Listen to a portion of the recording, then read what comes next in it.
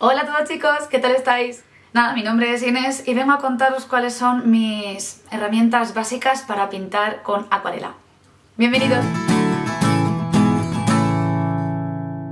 Una de las preguntas que más me hacéis por Instagram y al mail es sobre materiales para pintar con acuarela.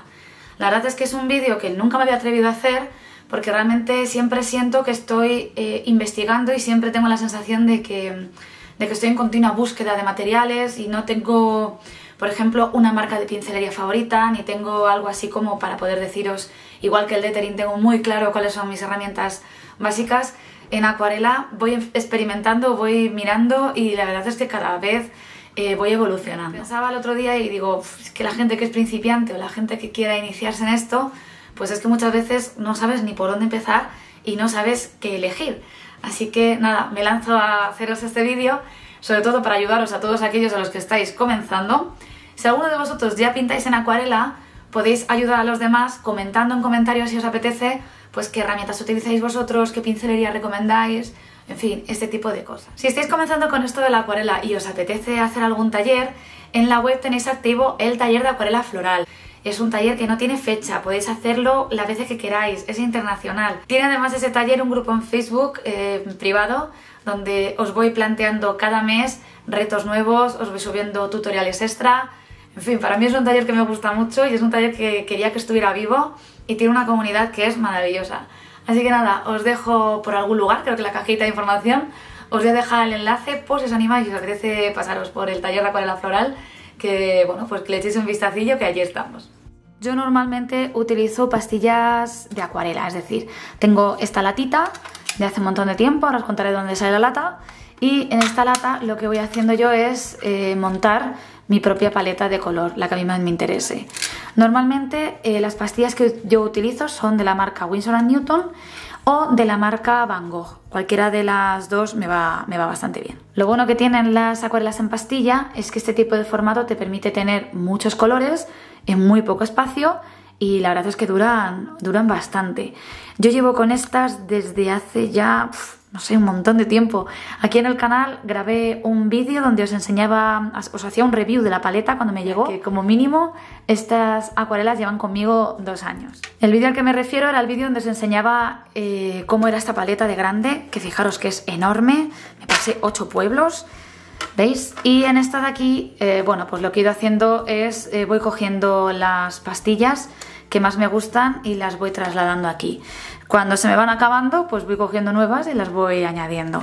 Fijaros ya las que me quedan estas de aquí y estas otras. Pero vamos, el estuche este tan grande y tan enorme eh, me pareció bastante incómodo en su momento y bueno, pues las tengo aquí como almacenaje y ya está.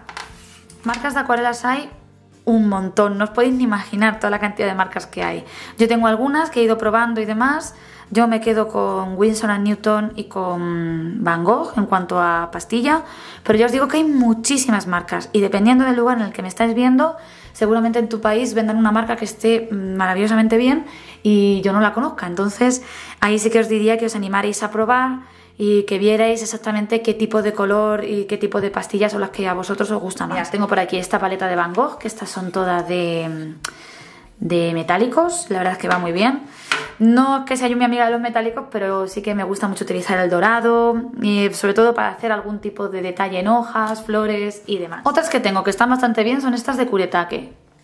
Y estas también están muy bien porque viene este dorado y vienen algunos bastante... Bueno, son poquitos, pero la verdad es que con ellos se pueden hacer mezclas y salen colores bastante interesantes. Koi también tiene su marca de acuarelas, que no está mal, dentro de lo que cabe, no está mal. Mm, yo prefiero las de Van Gogh, pero bueno, Koi tampoco está mal. Lo que no soporto de las de Koi es el pedazo estuche que trae para lo chiquitito que son luego las, las pastillas. Pero bueno, lo bueno que tiene este, este estuche en concreto es que te lo puedes llevar de viaje. Viene aquí con las almohadillas que puedes empapar, viene con la paleta que puedes colocar aquí si quieres y venía con un pincel eh, con depósito de agua, que también viene bastante bien. Otra de las marcas que utilicé sobre todo al principio eran las de Prima. Lo bueno que tienen las de Prima es que tienen unos colores súper bonitos. Lo malo que tienen las de Prima es que, a ver, no está mal, pero mm, hay otras mejores. ¿Veis lo que le pasa a la acuarela? Se cuartea mucho. No es que esté mal y tiene colores súper bonitos, pero yo después de haber probado Winsor Newton y Van Gogh me quedo con, me quedo con ellas. Una latita como esta tenía de, de, las de prima y una lata como esta fue la que yo vacié y la que finalmente me dejé como mi lata para mí. Sé que venden en Amazon y en algún sitio más, venden las latas vacías.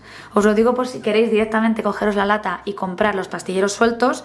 Normalmente todos los pastilleros encajan en, este tipo de latas, menos este que es enorme y no tiene forma y este de aquí. Si veis este tipo de, pastillero, normalmente suelen encajar en las latas. Bueno, pues esto en cuanto al mundo acuarela en pastilla. Hay otro tipo de acuarela que viene en formato líquido o en formato crema que también está muy bien. En formato crema yo no la suelo utilizar tanto. Sí es verdad que hay gente que les encanta y que cunden un montón. Son estas de aquí. Eh, es como si fuera una pasta de dientes. Para utilizarlo lo único que tienes que hacer es dejas un poquito en una paleta, le añades agua, mezclas y ya tienes la acuarela creada. Ya os digo que este no está mal, no me desagrada del todo. Algo que no me gusta es que se quita muy mal de las paletas. Por el contrario, la acuarela líquida, que son de este tipo de aquí, la verdad es que se trabaja súper rápido con ella. En cuanto echas una gotita en el agua ya se tiñe y puedes modular la intensidad del color de manera muy rápida porque enseguida ya tienes el concentrado aquí, en cuanto le añades un poquito más de agua se diluye y ya tienes el, el diluido. Yo trabajo con dos marcas sobre todo, que es Ecoline y la otra que utilizo sobre todo en talleres presenciales. ¡Ay, que se mata Paco! Bueno, como os decía, la otra marca con la que trabajo mucho, sobre todo en talleres presenciales, es con la de Vallejo. Por gustarme, me gusta más las Ecoline, que son estas de aquí, que de hecho el bote no tiene nada que ver, es de cristal, viene con gotero, es súper chulo, hay aquí acuarela para mí, para todos vosotros.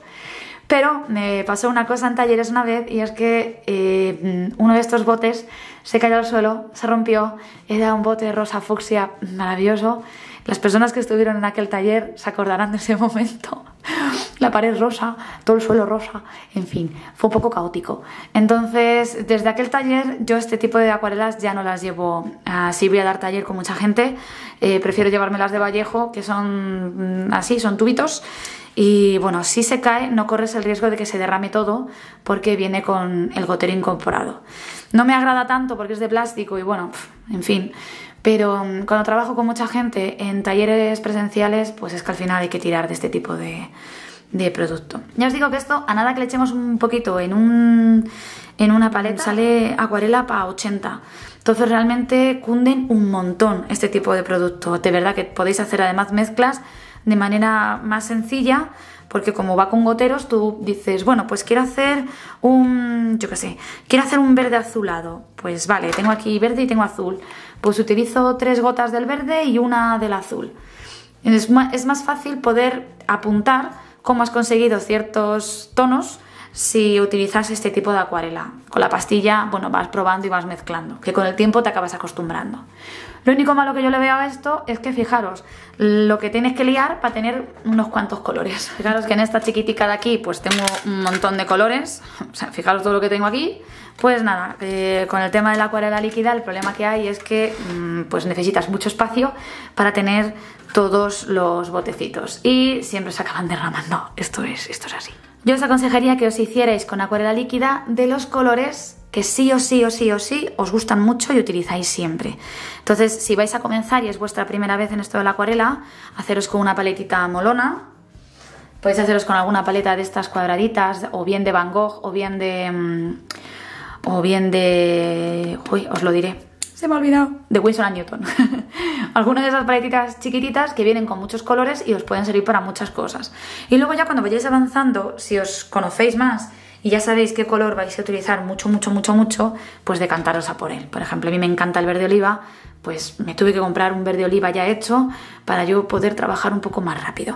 Pero vamos, que ya os digo que es un poco ya cuestión de, de gusto. El otro de los utensilios imprescindible para esto de la acuarela es, eh, por supuesto, el papel. Y como os comentaba antes, si en el mundo de la acuarela hay 800.000 tipos de acuarelas, no cuento nada para el mundo de los papeles. El mundo del papel se diferencia además en la cantidad de algodón que tenga, el tipo de prensado, el tipo de cola con la que hayan hecho el papel, es el tipo de grano, si es grano fino, si es... Bueno, en fin, esto es una locura que no es ni medio normal. Yo os voy a enseñar cuál es el papel que utilizo normalmente yo para los proyectos, cuál es el que utilizo en talleres, que está bastante bien de relación calidad-precio. Y sobre todo os quiero dar alguna pauta de poder elegir, porque como cada uno me estáis viendo de una zona del mundo distinta, pues probablemente la marca de papel que yo tenga no la tengas tú en tu país. O sí, quién sabe, no lo sé. Bueno, yo el papel que utilizo para talleres y realmente para practicar en casa y jugar es este de Canson. Es el XL y es el de acuarela.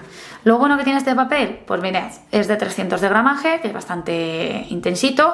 Viene con anilla y con el pespunte, con lo cual fantástico y estupendo porque tú aquí abres y ya lo venga fiesta nacional. Otra de las cosas que me gusta mucho es que no tiene, mm, no tiene grano tipo gotelé, es decir, es bastante liso. Por lo tanto, si quiero también hacer lettering o quiero utilizar rotulador, pues rebala bastante bien. Y otra de las cosas a tener en cuenta es que no tiene algodón. Ya os he dicho antes que el, papel de acuarela, eh, algunos se diferencian entre la carga de algodón que tiene y demás. Cuanto más algodón tenga el papel, por norma general, suele ser más carete porque mm, al final el algodón está bastante bien a la hora de, elegir papeles.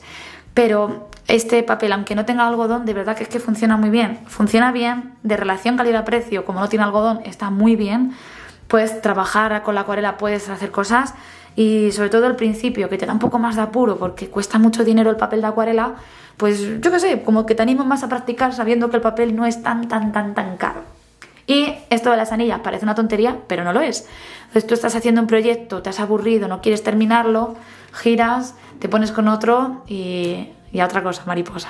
Si no tenéis este tipo de blog en, en, vuestro, en vuestra ciudad, mi recomendación es que busquéis papeles que tengan como mínimo 220-240 de gramaje. Si llevan algodón, vendrá el porcentaje de algodón que tiene, pero ya os digo que como mínimo, mínimo 220, 240. Luego a nivel personal, cuando tengo que hacer algún proyecto así un poco más chiquitito y demás, eh, utilizo este otro papel de aquí que es de Van Gogh. Y una de las cosas que más, más, más me gustan de este blog es que viene encolado por los bordes. ¿Qué es esto? Mirad, pues este de aquí viene encolado por aquí, engomado, engomado, engomado y engomado. ¿Qué significa eso? Que si tengo que hacer un fondo y si quiero utilizar mucha agua, no se abomba el papel porque está totalmente encolado. Inés, ¿y cómo sacas las hojas de aquí? Bueno, pues las hojas de aquí se sacan, a ver dónde tiene, aquí. ¿Veis? Siempre este tipo de blogs, os lo digo por si os encontréis alguno así de este rollo, este tipo de blog siempre tiene una pequeña parte donde no está engomado. Entonces, aquí, no sé si en cámara se estará viendo, yo aquí meto un cuchillito o meto algo así y en cuanto haces así un poquito ya sale entero.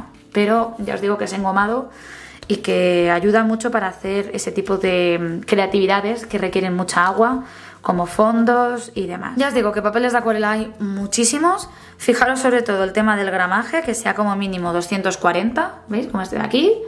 Y mm, con eso vale. Luego fijaros en el tipo de grano que tenga. Este de aquí tiene un grano mucho más marcado que el otro que os enseñaba antes. Probablemente esto en cámara pues no se esté viendo nada, para que no vamos a engañar, pero bueno, yo lo intento. Eh, pero bueno, sobre todo eso, fijaros en el tema del gramaje, que sea como mínimo 240. Y yo sí que os diría que buscarais uno que no tuviera mucho, mucho grano, que fuera lo más liso posible. Más que nada, pues si os gusta hacer lettering, que podéis también pintar luego con rotulador y podáis utilizarlo para más cosas. La otra de las herramientas indispensables para pintar con acuarela son los pinceles. Y aquí es donde recibo un montón de consultas casi siempre y es qué pincel me compro. Y aquí es donde más me cuesta recomendaros porque no tengo una marca de pinceles mm, que diga yo, madre mía, cómo se nota esta marca. De hecho, tengo aquí mi super tarro de los pinceles donde yo voy mm, cogiendo, probando, investigando y los voy guardando todos aquí porque la verdad es que em, voy probando muchos tipos de pinceles a lo largo del tiempo y la mayoría me gustan bastante cómo se trabaja con ellos.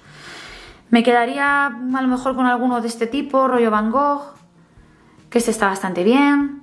A ver si se quiere enfocar. Hola, ¿qué tal? Buenas tardes. Yeah, estoy aquí ahora. vale. Tipo Van Gogh. Este, por ejemplo, me lo dieron en la escuela de artes y va muy bien también. Está estupendo. Otro así que suele ir bastante chulos son los de los de Art Creation, que también van muy bien. En fin, ya es un poco ir probando. Y mm, una cosa que yo os recomendaría es que fuerais a la tienda de Bellas Artes de vuestro barrio o de vuestra ciudad y pidierais directamente mm, pinceles para pintar con acuarela. Ya está. Y luego ahí ya, pues que os recomiende el vendedor, porque ya os digo que no hay uno así en concreto que yo os pueda recomendar. Sí que me gustaría recomendaros dos números con los que empezar. Porque claro, ¿qué número de pincel compro? Cuanto más grande es el número, fijaros, este es un 14, cuanto más grande es el número del pincel, pues más grande es eh, la cabeza del pincel. Y cuanto más chiquitillo, como este de aquí que es un 0, pues más pequeñito es, evidentemente. Entonces, mm, Inés, ¿qué me recomiendas? ¿Me compro todo desde 0 a 14? Pues ¿para qué? Si estás empezando, yo en los talleres siempre os recomiendo que tengáis dos números, un 0 y un 6 o un 8. Es decir, uno chiquitito y otro pues un poco más intermedio. ¿Por qué os recomiendo esto? Porque el 0 para detalles os va a venir súper bien y para espacios chiquititos y un 6 y un 8 os va a venir muy bien tanto para rellenar como para pintar. Si podéis invertir en más números de pinceles, pues cuanto más números de pinceles tengáis, muchísimo mejor dónde va a parar. Pero si no vais a invertir mucho y queréis gastaros poco, con que tengáis un 0 y un 8, con eso podéis avanzar fantásticamente. Y otra cosa que yo os aconsejaría es que buscaréis pinceles que terminen en punta, es decir, que sean redondos, pero que terminen en punta. Yo luego tengo uno de los planos, que es este de aquí, que me viene muy bien para hacer eh, bordes, para rellenar huecos que son muy grandes. Este me gusta mucho, pero vamos, así como indispensable, dos de estos, un 0 y un, y un 8. Existen también los pinceles con depósito de agua, que son estos de aquí. Eh, os hablaba antes de ellos.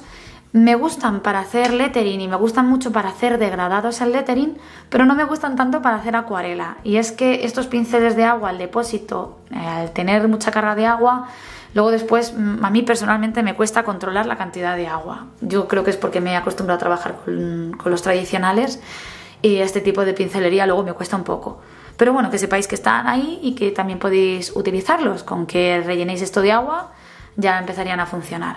La verdad es que van bien si vais a pintar fuera, si os vais de vacaciones y queréis hacer dibujos, bocetos o lo que sea fuera, pues hombre, la verdad es que viene bien porque no tienes que estar eh, mojando el pincel. Y es que es eso todos los temas que quería tratar con vosotros.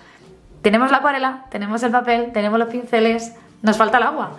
Entonces, una de las maneras para trabajar el agua es eh, con un vaso. Yo tengo esta jarra asquerosa y guarrilla para pintar. Me gusta mucho porque está muy repintada y entonces no me confundo con el café, que eso es un clásico. Hay gente que trabaja con dos vasos, uno para el agua limpia y otro para el agua sucia. Yo con este grande, eh, lleno de agua hasta arriba, me apaño de sobra, no necesito dos. Que al final esta mesa es muy chiquitita y no tengo mucho coco para pintar. Y otra de las cosas que os recomendaría eh, que tuvierais a mano es un difusor de este rollo. A ver, indispensable no es, pero ayuda mogollón. Porque si yo ahora, por ejemplo, tengo que preparar color en la, en la paleta, pues es tan fácil como eh, espolvorear esto aquí un poco y ya puedo coger color y, empezar a pintar. Y si yo, por ejemplo, tengo alguna paleta de este rollo y quiero reactivar el color, fijaros que una vez que nosotros utilizamos estas paletas y las dejamos secar, se queda mm, el pigmento seco y esto se puede volver a reutilizar. Es decir, yo puedo llegar aquí y ya simplemente puedo volver a reutilizar, ¿veis? La acuarela que había antes en, el, en la paleta. Entonces, para eso, este tipo de difusores viene muy bien. Esto aquí en España se le conoce también como los flus flus. En vuestro país, a esto no sé cómo lo llamáis, pero mm, viene muy bien. Si tenéis algún gotero o algo de eso, pues hombre, también ayuda. Pero yo os digo que con esto no es que sea indispensable, o sea, sin esto vais a poder pintar, pero ayuda a que no veas. Para terminar, ¿cuál es el otro elemento que ya os he enseñado un poquito y que vais a necesitar? Pues son paletas. Este tipo de paletas nos van a ayudar a preparar el color. No solamente podéis utilizar esto, también podéis utilizar las bases de, de las cajas. La mayoría de cajas traen pocitos para que podáis trabajar en ella, con lo cual está bastante bien. Y paletas de estas hay muchísimas. Yo os enseño cuál es la mía, que me encanta, y es esta de aquí, y es de cerámica. Me gusta un montón porque pesa, ¿veis? Es de cerámica y chachi. Para mí este tipo de paletas me gustan un montón, es de cerámica, pesa, eh, se diluye muy bien el pigmento, a mí me gusta un montón.